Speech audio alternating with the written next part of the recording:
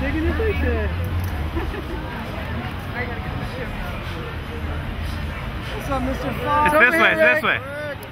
Uh-oh. You gotta go to the red carpet area. Hey, you're not winning the championship. What do you think about the situation, Rick? Any comments?